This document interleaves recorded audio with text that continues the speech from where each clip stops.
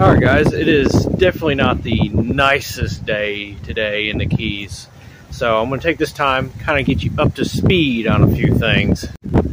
I thought I posted this video, but I guess I didn't. So this is the video of me when I first got the, the Caribe, little dinghy that I have brought up here to the Keys. It is most definitely a Junkin Treasures. And it had the completely wrong motor, wrong vintage, everything on it. It was a little bit rough.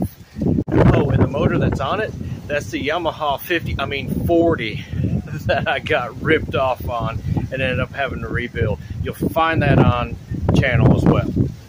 So here is the quick video of what I had to do to make this thing actually seaworthy. All right guys, here's the new to me yacht tender that I bought yesterday. And it's really nice. It's got the SeaDek and all that in it. 2013 model. It's exactly what I was looking for. However, the motor is not right for this boat. This is a freaking 60 horse with a big foot on it. It's a Bigfoot series. And I need to take it off.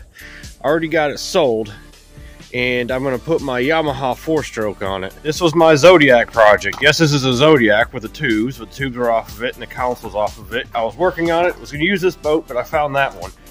And uh, I'm going to take the Yamaha off of this, put it on that. This if people want to know why I got random tires laying around,